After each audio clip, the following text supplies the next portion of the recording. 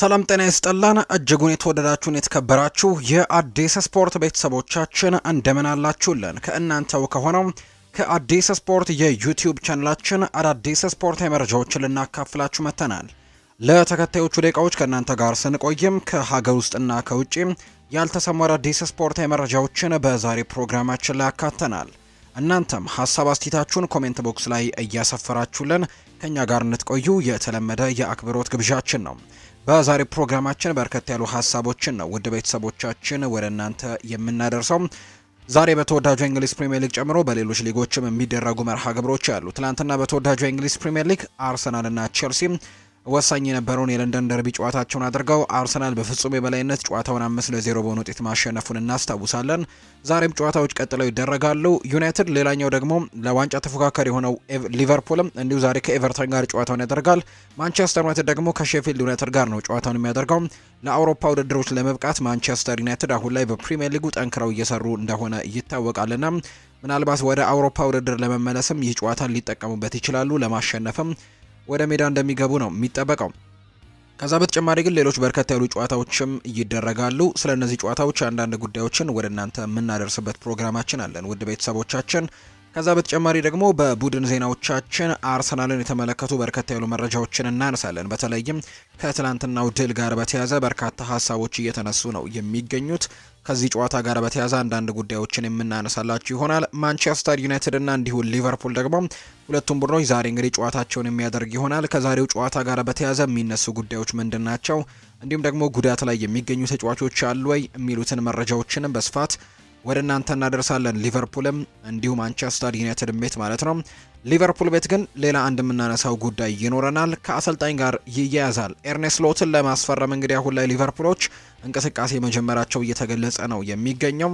በርከት ያሉ ጉዳዮች ከኤርኔስት ሎት ጋር እንግዲህ እየወጡ ይገኛሉ። ይህ አሰልጣኝ ማን ነው የሚለውን ጉዳይም በመጠኑም ቢሆን ወደ እናንተ እናደርሳለን። በነገው ጠዋት ፕሮግራማችን ላይ ግን ወደ ቤተሰቦቻችን ስለዚህ ሰው የሚዳስስ በርከት ያለ ትንታኔዎችን ወደ እናንተ ይዘን እንመጣለን። ለዛሬው ግን በመጠኑም ቢሆን ስለ አርኔስ ሎት አንዳንድ ጉዳዮችን እንነግራችኋለን። ሪያል ማድሪድ፣ ቸልሲ፣ አርሰናል፣ ሌሎችም የአውሮፓ ታላላቅ ክለቦች በዛሬው የስፖርት የመረጃ ሰዓታችን በስፋት ይዳሰሳሉ። እስከ ፕሮግራማችን ፍጻሜ ድረስ አብራችሁኝ እንድትቆዩ በአክብሮት ጋብዛለሁ። ለቻናላችን አዲስ ከሆናችሁ ደግሞ subscribe ማድረጋችሁን አትርሱ። ቪዲዮአችንንም like እያደረጋችሁ እንድታበረታቱን በአክብሮት ጋበዝኩኝ። በቀጥታ ወደ ዛሬው ፕሮግራማችን ነው የምናልፈው። ዛሬ በተወዳጁ የእንግሊዝ ፕሪምየር ሊግ የሚደረጉ መርሃ ግብሮች ይኖራሉ። ምሽት 3 ሰዓት ከ45 ሲል አንድ ጨዋታ ነው የሚደረገው። በሞሊኒክስ ስቴዲየም ጨዋታ ይደረጋል። ወልቨርሃምፕተን ወንደረርስን ከቦርንመውዝ ጋር የሚያገናኘው ጨዋታ ነው። ሌሎቹ ሶስት ጨዋታዎች ደግሞ በተመሳሳይ ምሽት አራት ሰዓት ላይ የሚደረጉ መርሃ ግብሮች ናቸው። በሴልኸርስት ፓርክ ያለፉትን ሁለት ጨዋታዎች ማሸነፍ የቻለው ክሪስታል ፓላስ ዛሬ ከኒውካስል ዩናይትድ ጋር በሜዳው የሚያደርገው ጨዋታ በጉጉት ይጠበቃል። ባለፉት ሁለት ሳምንታት ጥሩ ድሎችን ማስመዝገብ ችለዋል። በተጨማሪም የኤዜና የሚኬል ኦሊሴ ጥምረትም እጅግ አስደናቂ እንደሆነ የተመለከትንባቸው ሳምንታቶችን ያሳለፉት ክሪስታል ፓላስ ዛሬስ ሶስተኛ ጨዋታቸውን በተከታታይ ያሸንፍ ይሆን? ከኒውካስል ዩናይትድ ጋር ጨዋታቸውን ያደርጋሉ። ሌላኛው ዛሬ ከሚደረጉ ጨዋታዎች መካከል በጉጉት የሚጠበቀው የጉዲሰን ፓርኩ የኤቨርተን እና የሊቨርፑል የመርሲሳይድ ደርቢ ጨዋታ ነው። ሊቨርፑሎች ይህንን ጨዋታ እንግዲህ ማሸነፍ የግድ ይልባቸዋል። ምክንያቱም የሊጉ የደረጃ ሰንጠረዥ አናት ላይ ይገኛሉ ሊቨርፑሎች ከማንቸስተር ሲቲ እና ከአርሰናል ጋር እንግዲህ ትንቅንቅ እያደረጉ ነው የሚገኙት የፕሪሚየር ሊጉን ዋንጫ ለማሳካት። ስለዚህም አሁን ላይ አርሰናሎች እንግዲህ ነጥባቸውን ከፍ አድርገው እየቀጠሉ ይገኛሉ። ማንቸስተር ሲቲም እንዲሁ ነገ ጨዋታውን ያደርጋል። ኤቨርተንን ነው ዛሬ ሊቨርፑል የሚገጥመው። ይህንን ጨዋታ ማሸነፍም ለሊቨርፑል ግድ እንደሆነ ይታመናል። ኤቨርተንም እንዲሁ ጨዋታውን በቀላሉ ይለቋል ተብሎ አይጠበቅም። ምክንያቱም የደርቢ ጨዋታ እንደመሆኑ መጠን እንዲሁም ኤቨርተንም ከወራጅ ቀጠና ሙሉ ለሙሉ ለመላቀቅም ሙከራዎችን እያደረገ የሚገኝ ቡድን ነው። ማንቸስተር ዩናይትድ በሜዳው ኦልድ ትራፎርድ ምሽት አራት ሰዓት ላይ ከሼፊልድ ጋር የሚያደርገውም ጨዋታ ይጠበቃል። በሳምንቱ መጨረሻ በኤፍኤ ካፕ ወደ ዋንጫ ማለፍ ቢችሉም ነገር ግን ማንቸስተር ሲቲዎች ከኮቬንትሪ ሲቲ የገጠማቸው ፈተና ዩናይትድን እንዲብጠለጠል አድርጎታል። አሰልጣኙን ጨምሮ ሌሎች ተጫዋቾችም ጣት ተቀስሮባቸዋል። ዛሬ ደግሞ ከሼፊልድ ዩናይትድ ጋር ጨዋታቸውን ሊያደርጉ ኦልድ ትራፎርድ ላይ ምሽት አራት ሰዓት ላይ ይገናኛሉ። በጣሊያን የግማሽ ፍጻሜ ኮፓ ኢታሊያ ደግሞ ምሽት አራት ሰዓት ሲል አታላንታና ፊዮረንቲና ጨዋታቸውን ሲያደርጉ በፍሬንች ሊግ ዋንም የሚደረጉ መርሃ ግብሮች አሉ። ሎሪዮ ከፓሪስ ሳን ዠርሜን ምሽት ሁለት ሰዓት፣ ኦሎምፒክ ደ ማርሴይ ከኒስ እና ሞናኮ ደግሞ ከሊል ጋር ምሽት አራት ሰዓት ላይ ጨዋታቸውን የሚያደርጉ ነው የሚሆነው። አርሰናልን የተመለከቱ መረጃዎችን ደግሞ እናጋራችሁ። ብዙ ጥያቄዎችን የመለስንበት ውጤት ነው ብለዋል ሚኬል አርቴታ ከትላንትናው ጨዋታ በኋላ። የመድፈኞቹ ዋና አሰልጣኝ የሆነው ሚኬል አርቴታ ትላንትና እንግዲህ ቼልሲን ካሸነፈ በኋላ በሰፊ የግብ ልዩነት ያሸነፉበትን ጨዋታ ብዙ ጥያቄዎች የመለስንበት ጨዋታ ሲልም ነው የገለጸው። ከቡድኑ አስደናቂ እንቅስቃሴን በትክክል ተመልክተናል። በውጤቱ በጣም ደስተኛ ነን። ብዙ ጥያቄዎችን የመለስንበት ጨዋታ ይመስለኛል ሲል ነው አሰልጣኝ ሚኬል አርቴታ ከትላንትናው ጨዋታ በኋላ እየተናገረው። አሰልጣኝ ማውሪዚዮ ፖቼቲኖ በበኩላቸው የቼልሲው አሰልጣኝ ውጤቱ ያበሳጫል፣ ጥሩ ነገር አላሳየንም፣ ነገር ግን ተጫዋቾችን መውቀስ አልፈልግም።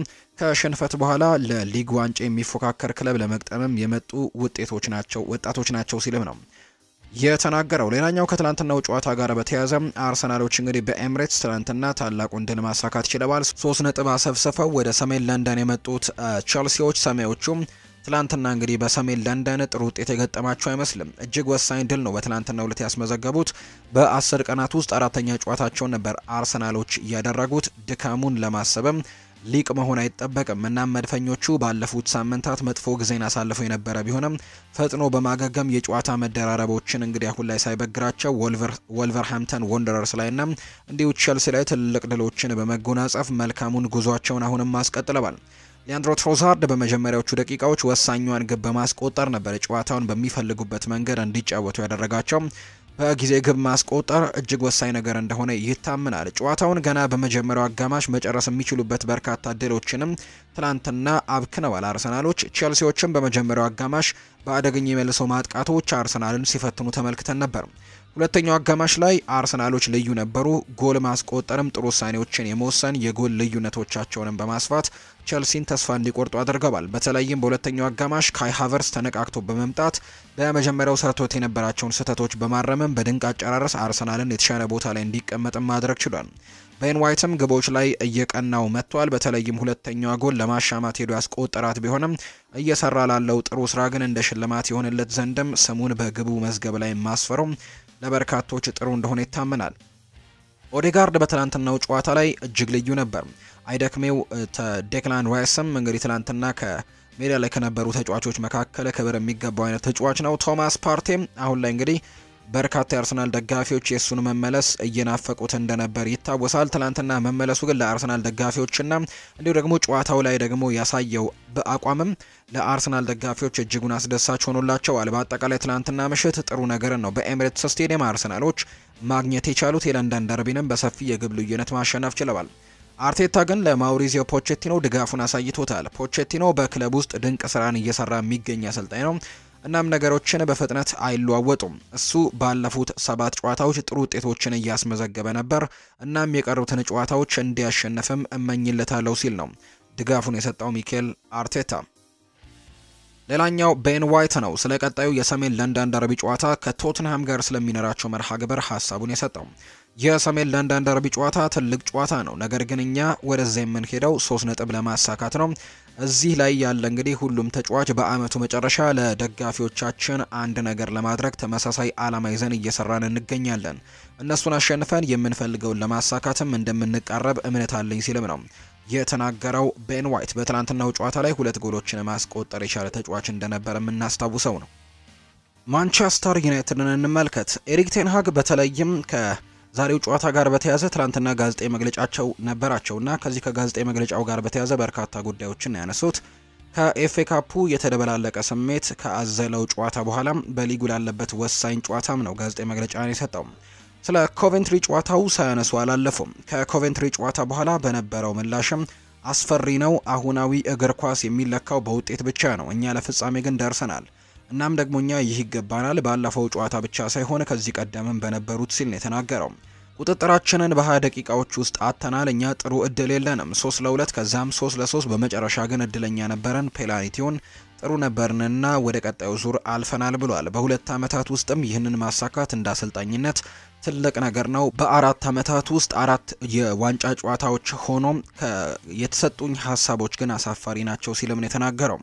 ስለ ተጫዋቾች ጉዳትም ተናግረዋል። እኛ ችግሮች ያሉብን አሊሃንድራ ጓርናቾ በእነዚህም ላይ ቀይረን ያስወጣ ነው ነገር ግን እሱ ደህና የሚሆን ይመስለኛል። ስኮት ማክቶሚናይ በጣም አጠራጣሪ ነው። ማርከስ ራሽፎርድም እንደዛው አጠራጣሪ ነው። ተጨማሪ ብሩኖ በእጁ ላይ ችግር ገጥሞታል፣ ነገር ግን እሱ የሚደርስ ይመስለኛል ሲሉም ተደምጠዋል። ስለ አንቶኒ ሲናገሩም የሃሪ ማጓየር ግብረ መልስን አይታችሁታል። እሱ ላይ ሲሳለቁ ነበር። ለዚህም ይመስለኛል ይህ የነበረው እናንተ ግን አስቀድሞ የነበረውን አላያችሁትም። ሆኖም እሱ ይህንን ማድረግ ግን አልነበረበትም ሲል ይናገራል። ስለ ጄሰን ዊልኮክስም ይናገራል። ለመጀመሪያ ጊዜ አግኝቼዋለሁ። በዚህ ሳምንት እኛ ብዙ ጊዜ የለንም፣ ስለዚህም ረጅም ግንኙነት በሳምንቱ አይኖረንም። እኔ እሱን ሚና አውቀዋለሁ። እሱ በወጣቶች ላይ የሚሰራ የመስራትም ትልቅ ልምድ ያለው ሰው ነው። ከእሱ ጋር ለመስራትም ዝግጁ ነኝ ሲል ኤሪክ ቴንሃግ ተደምጧል። ኖቲንግሃም ፎረስት በሳምንቱ መጨረሻ ስለ ተከለከሉበት ፔናልቲም ሲናገር ይህንን ማድረግ የለባችሁም እናንተ የምትስማሙበት ነገር አለ። እሱም የአሮን ዋን ቢሳካ ፔናልቲ ሙሉ በሙሉ ስህተት ነው። ይህ ስህተት ነው፣ ነገር ግን ሁሉንም መጠየቅ አይቻልም። ይህ ለጨዋታው ለዳኞችም ክብር መንሳት ነው። እኛ ልናከብራቸው ግድ ይለናል ሲልም ተደምጧል። አሌሃንድሮ ጋርናቾ አንዳንድ ችግሮች አጋጥሞታል። ለዛም ነው ከሜዳ ልናስወጣ የተገደድነው። ነገር ግን አሁን ላይ ጥሩ እየሰራ ነው ብዬ አስባለሁ። ስኮት ማክቶሚናይ ይመረመራል፣ ነገር ግን ሁኔታው በአሁኑ ጊዜ ግልጽ አይደለም ሲል ተደምጧል። ዛሬ እንግዲህ ማንቸስተር ዩናይትድ ከሼፊልድ ዩናይትድ ጋር ምሽት አራት ሰዓት ላይ ጨዋታቸውን ያደርጋሉ።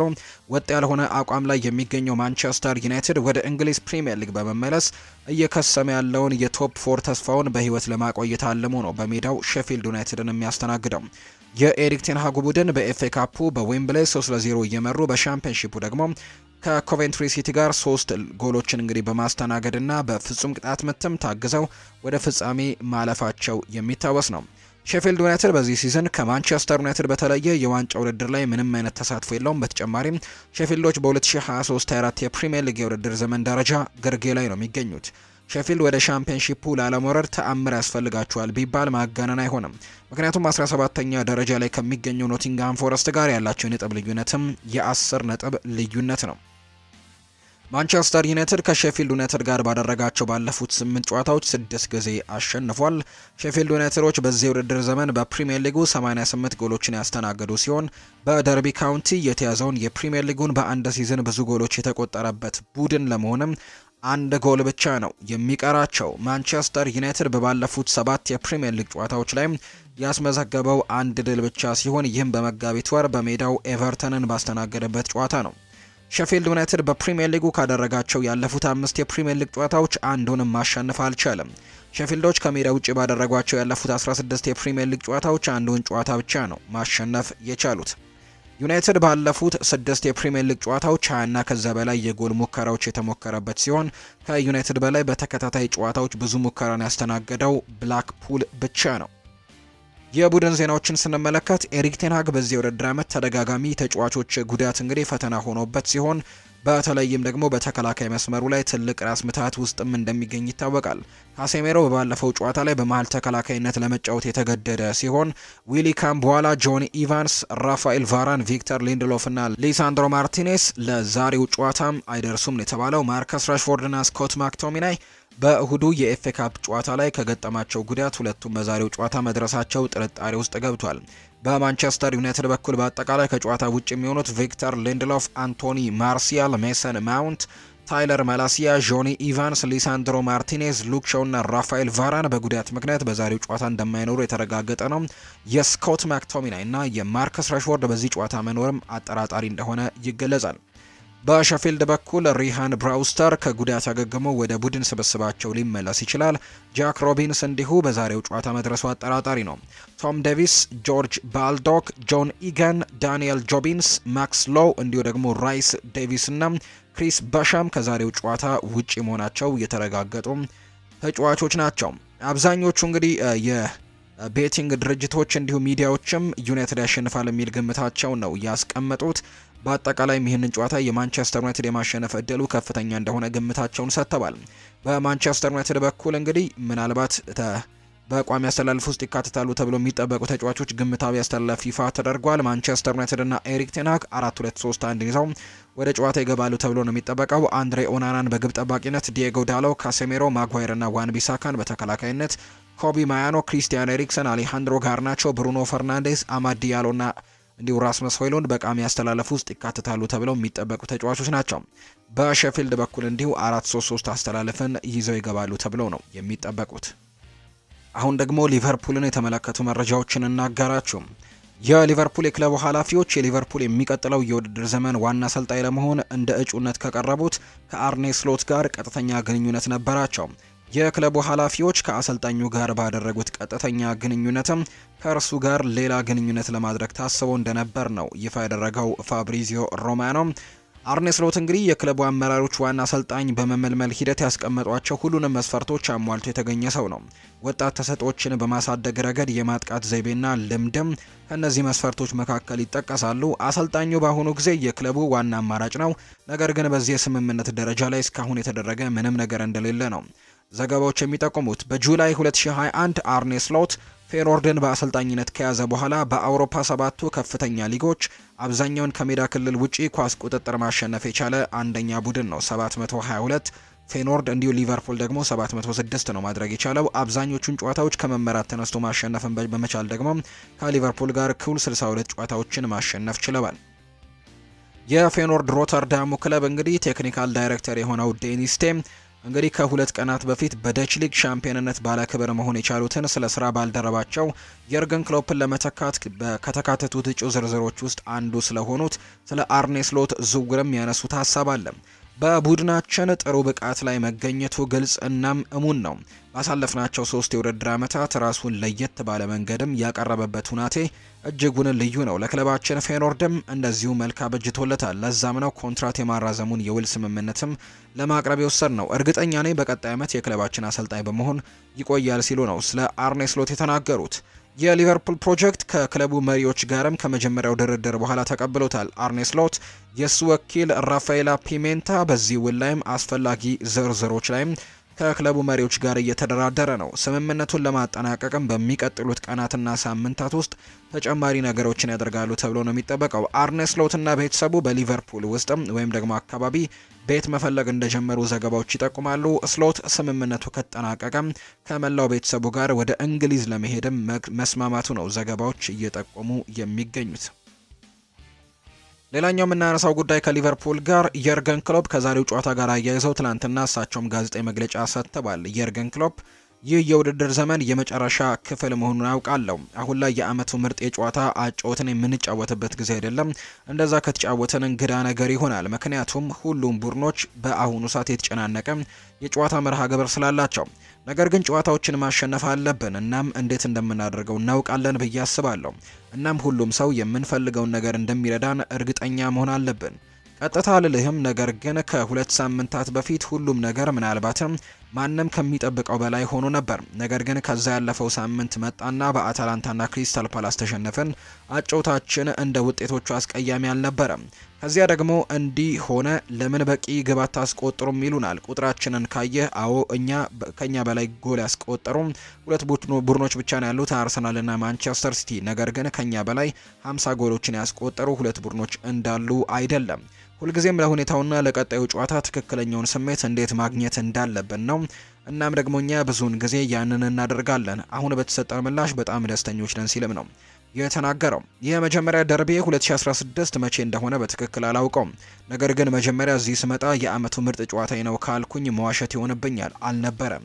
ለሰዎች ምን ያክል አስፈላጊ እንደሆነ አውቄ ነበር፣ ነገር ግን ያኔ አልተሰማኝም። አሁን አውቄዋለሁ እናም ይሰማኛል። የእኔ ግንዛቤ ባለፉት አመታት እያደገን የመጣው እነሱ ሁልጊዜም አስቸጋሪ ጨዋታዎች ናቸው። በተለይም እዚያ ማለትም ጉዲሰን ፓርክ ላይ ግን ከዚህ በፊት ያለፉትን ጨዋታዎች ያን ያክል አስፈላጊ አይደሉም። ምን ያክል አስቸጋሪ እንደነበሩ ማስታውሳለሁ። ዲየጎ ግቡን አስቆጥሯል። ነገር ግን እንዳለመታደል ሆኖ ትንሽ ጉዳት ተሰምቶታል። ከምርመራው በኋላ አሁን ላይ ትንሽ አለመሆኑን አውቀናል። ስለዚህም ለሁለት ሳምንታት ዲየጎ ዦታ ከሜዳ ይርቃል። ይህ ትንሽ ትንሽ እንግዲህ ጉዳት ነው። ነገር ግን በውድድር አመቱ መጨረሻ ላይ ስለሆነብን እያንዳንዱን ጉዳት ለኛው ጥሩ አይሆንልንም። ሁለት ሳምንታት ያክል ይህ ተጫዋች እኛን አያገለግለንም ሲሉ ነው የተደመጡት። ከዛሬው ጨዋታ ጋር አያይዘን አንዳንድ ጉዳዮችን ለማንሳት ያክል ዛሬ ምሽት አራት ሰዓት ላይ በጉዲሰን ፓርክ ስቴዲየም የመርሲሳይድ ደርቢ የሆኑት ሁለቱ ሊቨርፑል እና ኤቨርተን በ34ኛው ሳምንት የእንግሊዝ ፕሪምየር ሊግ ጨዋታቸውን ያደርጋሉ። ባለሜዳው ኤቨርተን ባለፈው ሳምንት ባደረገው የፕሪምየር ሊጉ ጨዋታ ወደ ስታንፈርድ ብሪጅ ተጉዞ በቼልሲ የ6 ለ0 ሽንፈት ደርሶበት ነው ወደ ዛሬው ጨዋታ የሚመለሰው። በአንጻሩ ተጋባዡ ክለብ ሊቨርፑል ቅዳሜ ዕለት ባደረገው የፕሪምየር ሊጉ ጨዋታ ከሜዳው ውጭ ተጉዞ ፉልሃምን 3 ለ1 በሆነ ውጤት አሸንፎ ወደ ዛሬው የመርሲሳይድ ደርቢ ጨዋታ መጥቷል። ኤቨርተን እና ሊቨርፑል የአንድ ከተማ ባላንጣ ክለቦች እንደመሆናቸው ጨዋታውን የበለጠ ከባድ ያደርገዋል። ሊቨርፑል በፕሪምየር ሊጉ በ33 ጨዋታዎች 74 ነጥቦችን በመሰብሰብ ሁለተኛ ደረጃ ላይ ይዞ የሚገኝ ሲሆን ኤቨርተን ደግሞ 30 ነጥብ በመሰብሰብ በሊጉም 16ኛ ደረጃ ላይ የሚገኝ ቡድን ነው።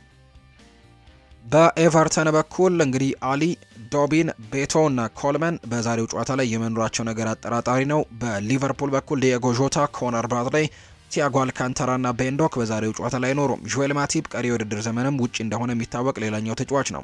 በሊቨርፑል በኩል በግምታዊነት 4-3-3 አሰላለፍን ይጠቀማሉ ተብሎ ይጠበቃል። አሊሰን ቤከር በግብ ጠባቂነት ይኖራል። ትሬንት አሌክዛንደር አርኖልድ፣ ኢብራሂማ ኮናቴ፣ ቨርጂል ቫንዳይክ እና እንዲሁ ሮበርትሰን በተከላካይ ስፍራ ላይ የሚኖሩ ተጫዋቾች ናቸው። ኤንዶ ማካሊስተር፣ እንዲሁ ሶቦዝላይ ሙሐመድ ሳላህ፣ ዳርዊን ኑኔዝ እና ሉዊስ ዲያዝ በቋሚ አሰላለፍ ውስጥ ይካተታሉ ተብሎ ይጠበቃል። የኤቨርተንን ግምታዊ አሰላለፍ ስንመለከት ጆርዳን ፒክፋርድ በግብ ጠባቂነት ይኖራል። አሽሊ ያንግ፣ ታርኪዮስኪ፣ ብራንዝዌይት እና እንዲሁ ማይኮሌንኮ በተከላካይ ስፍራ ላይ የሚኖሩ ናቸው። ሃሪሰን፣ አማዱ ኦናና፣ ኢድሪስ አጋና ጉዌ፣ ማክኒል፣ ዶኮሬ እና ዶሚኒክ ካልቨርት ሉዊን በኤቨርተን በኩል በቋሚ አሰላለፍ ውስጥ ይካተታሉ ተብለው የሚጠበቁ ተጫዋቾች ናቸው። ሪያል ማድሪድን የተመለከቱ መረጃዎችን ደግሞ እናጋራችሁ። ባርሴሎና ሪያል ማድሪድ ጋር አስቆጥሬ ተሽሮብኛል ብሎ ያሰባትን ከመስመር ኳሷ እንግዲህ የሚያሳይ ምስልና ክሊፖችን ማግኘት የፈለገ ከሆነ የስፔን እግር ኳስ ፌዴሬሽን ዋና መስሪያ ቤትን መጎብኘት እንዳለበት ዘገባዎች ጠቁመዋል። ምክንያቱም ፌዴሬሽኑ በዚህ አከራካሪ ክስተት ላይ የተፈጠረውን ሁኔታ ወይም ደግሞ ኳሷ ከመስመር እንዳላለፈች የሚገልጸውን ክሊፕ ከተለያዩ angle ኦች ቀርጾ ይዟል ተብሏል። ነገር ግን ይህንን ማስረጃ በ social media ዎች ላይ ማስቀመጥ እንደማይፈልግ ነው ካዴና ሴር መረጃውን ያጋራው። ከባየር ሙኒክ ጋር የሚደረገው ፍጥጫ እየተቃረበ ባለበት በዚህ ወቅት ካርሎ አንቸሎቲ ከሪያል ሶሴዳድ ጋር አርብ የሚያደርጉትን ጨዋታ ላይ በቋሚ ተሰላፊነት ተጫዋቾች ምትክም ለወጣት ተጫዋቾችም የቋሚነት አሰላለፍ ውስጥ ሊያካትታቸው እንደሚችል ነው አሁን ላይ ዘገባዎች እየጠቆሙ የሚገኙት። ሌላኛው ከሪያል ማድሪድ ጋር የሚነሳው ጉዳይ ግን ሪያል ማድሪድ ለሉካስ ቫስኩዊዝ ኮንትራት ከሰሞኑ ሊያድስ እንደሚችል ወሬዎች እየወጡ እንደሆነ ይታወቃል። ሆኖም ኮፔ ይዞት በወጣው መረጃ መሰረት የተጫዋቹ ኮንትራት እድሳት ለአንድ ዓመት ማለትም እስከ 2025 እንደሚሆን በዘገባው ላይ ነው ያሰፈረው። ከኢቲሃዱ ጨዋታ ጀምሮ የዚህ season ኡ እንግዲህ ሉካስ አሁን ላይ እንግዲህ ጥሩ እንደሆነ እየተገለጸ ነው። ኢቲሃድ ላይ ያስቆጠረው ፔናልቲ confidence ኡ በርካታ የሪያል ማድሪድ ደጋፊዎችን አስደስቷል። ከዛ በተጨማሪ ደግሞ ኤል ክላሲኮ ላይ በነበረውም ጨዋታ ደግሞ ሶስቱም ጎሎች ላይ አስተዋጽኦ እንደነበረው እናስታውሳለን። ሪያል ማድሪድ በሳንቲያጎ ቤርናቢው ከባየር ሙኒክ ጋር ለሚያደርገው የቻምፒየንስ ሊግ የግማሽ ፍጻሜ የመልስ ጨዋታ የደጋፊዎች የመግቢያ ትኬትን ተመን ይፋ አድርጓል። በዚህ መሰረትም ከፍተኛው የትኬት ዋጋ 445 ዩሮ ሲሆን ዝቅተኛው የትኬት ዋጋ ደግሞ 88 ዩሮ መሆኑ ነው ይፋ የተደረገው። የባየር ሙኒኩ ተጫዋች ጀማል ሙሲያላ እንግዲህ ከቀድሞ የቡድን አጋሩ ጁድ ቤሊንጋም ጋር በተያያዘ አንዳንድ ሀሳቦችን ሰጥቷል። ከዛ በተጨማሪም እንዲሁ ከሪያል ማድሪድ ጋር ከሚያደርጉት ጨዋታ ጋርም በተያያዘ ነው ሀሳቡን የሰጠው። ጀማል ሙሲያላ ሲናገር ጁድ ቤሊንጋም በሪያል ማድሪድ ያደረገው አጀማመር ብዙም የተለመደ አይደለም። በሌላ ሀገር ውስጥ አዲስ ተጫዋቾች አብዛኛውን ጊዜም ለመላመድ ጊዜ ይፈጅባቸዋል። ነገር ግን ለጁድ ቤሊንጋም ነገሮች የተለዩ መሆናቸው ብዙም አላስገረመኝም፣ ምክንያቱም ቤሊንጋም ምን አይነት አስተሳሰብ እንዳለው ጠንቀቂያው ስለማውቅ ነው ብሏል። በቻምፒየንስ ሊጉ ግማሽ ፍጻሜ ከሪያል ማድሪድ ጋር በታላቁ ሳንቲያጎ ቤርናቢው የምናደርገው ጨዋታንም በጉጉት እጠብቃለሁ ሲል ነው ጀማል ሙሲየላ የተናገረው። ጁድ ቤሊንጋም እና እኔ ከልጅነታችን ጀምሮ አብረን ነበርን። ጥቂት ጨዋታዎችንም አብረን ተጫውተናል። እናም ከዚያ ጊዜ ጀምሮ ጥሩ ጓደኛሞች ነበርን። ነገሮች ለሱ በጥሩ ሁኔታ እየሄዱለት መሆኑ በጣም አስደስቶኛል። እሱ ራሱ ከትልልቅ ፈተናዎች ጋር አይቀርም፣ ነገር ግን በራስ መተማመኑ ግን ትልቅ ነው ሲል አወድሶታል። እኔና ጁድ ቤሊንጋም ሁሌም ቢሆን በቻምፒየንስ ሊግ እንደ ሪያል ማድሪድ እና ባየር ሙኒክ ላሉ ታላላቅ ቡድኖች ወክለን መጫወት እንችል ነበር። አሁን ላይ ሁለታችንም ስለተሳካልን እጅጉን ደስ ብሎኛል ሲልም ነው የተደመጠው። አንዳንድ የሳውዲ አረቢያ ክለቦች ስፔናዊውን የሪያል ማድሪድ የአጥቂ ስፍራ ተጫዋች የሆነ ሆሴሎ ማቶን ማስፈረም እንደሚፈልጉ እየተነገረ ነው የሚገኘው። በሌላ በኩል ሪያል ማድሪድ የተጫዋቹን የውሰት ውል ወደ ቋሚ ዝውውር ለመቀየር ሁኔታዎችን እየገመገመ ሲሆን ትልቁ ሀሳብ አሁን ላይ ስምምነቱ ስለሚጠይቀው ዋጋ ሳይሆን ስለ ኬሊያን ምባፔና ኤንድሪክ መምጣት ነው ተብሏል። እንዲሁም ደግሞ አሰልጣኝ ካርሎ አንቸሎቲ ተጫዋቹ የሚወዱት ሲሆን በሚቀጥለው የውድድር ዓመትም ቡድናቸው ውስጥ ቢቆይ ደስተኛ እንደሚሆኑ ገልጸዋል። ዳኒ ሰባዮስ በአሰልጣኝ ካርሎ አንቸሎቲ የመጫወቻ ደቂቃ እየተሰጠው ባለመሆኑ ብስጭት ውስጥ የገባ ሲሆን ለዚያም ሲባል እሱና ጓደኞቹ የወደፊት አማራጮችን ማጤን ጀምረዋል። በሌላ በኩል ሪያል ማድሪድ ተጫዋቹን የመሸጥ እቅድ የሌለው ሲሆን ወደፊት ግን ሀሳቡን ሊለውጠው የሚችለው ለተጫዋቹ ትልቅ ዝውውር ገንዘብ ከቀረበለት ብቻ ነው ተብሏል። በተጨማሪም ሌላኛው የስፔኑ ክለብ አትሌቲኮ ማድሪድ ዳኒ ሰባዮስን ለማስፈረም ከፍተኛ የሆነ ፍላጎት እንዳለው ነው እየተነገረ የሚገኘው። ኬሊያን ምባፔ የፊት አጥቂ ሆኖ መጫወት በአዎንታዊነት ይቀበለዋል። ዲያሪዮ አስ በፊት ገጹ ላይ እንዳስነበበው ከሆነ ፈረንሳዊው international በዘጠኝ ቁጥር ቦታ ላይ የመጫወት ሀሳብን እንደሚወደው በዙሪያው ላሉት ሰዎች ተናግሯል። በዚህ ቦታ መጫወት ቁጥራዊ ስታቲክሱን እንደሚያሻሽልና ለባሎንዶር አሸናፊነትም እንደሚያቀርበው ያምናል ተጫዋቹ። የተወደዳችሁና የተከበራችሁ ቤተሰቦቻችን ለዛሬ ያዝንላችሁ አዳዲስ ስፖርት የመረጃዎቻችን እነዚህን ይመስላሉ። ስላደመጣችሁን፣ ስለተከታተላችሁን፣ ስለምትጽፉልንም እጅግ ከልብ አድርገን እናመሰግናለን። ቪዲዮአችንን like እያደረጋችሁ ለወዳጅ ዘመድም share እያደረጋችሁ እንድታበረቱን ደግሞ የተለመደ የአክብሮት ግብዣችን ነው። በነገው ጠዋት በሚኖረው የስፖርት የመረጃ ሰዓታችን ሌሎች አዳዲስ ስፖርት የመረጃዎችን አካተን በስፋት ወደ እናንተ የምናደርስ ነው የሚሆነው። ስላደመጣችሁኝ፣ ስለተከታተላችሁኝ እጅጉን ከልብ አድርጌ አመሰግናችኋለሁ። እወዳችኋለሁ። መልካም ምሽት እንዲሆንላችሁም በአክብሮት ተመኘው።